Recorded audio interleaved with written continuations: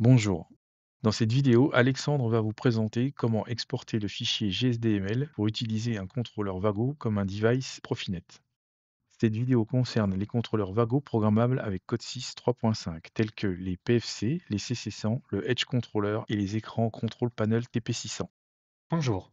Tout d'abord, lancez le logiciel Codesys 3.5. Dans le menu Outils, sélectionnez Référentiel d'appareil. Ouvrir l'arborescence bus de terrain.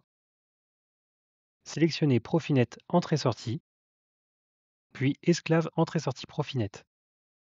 Ouvrir le dossier IO, puis le sous-dossier Codesys PLC. Sélectionnez la version la plus à jour de Codesys Profinet Device. Cliquez sur Exportation et choisir le dossier d'exportation.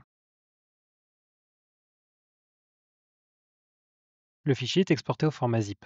Une fois le fichier exporté, le dézipper pour qu'il soit exploitable par un logiciel tel que TIA Portal. Si vous avez des questions, n'hésitez pas à contacter votre support Vago local.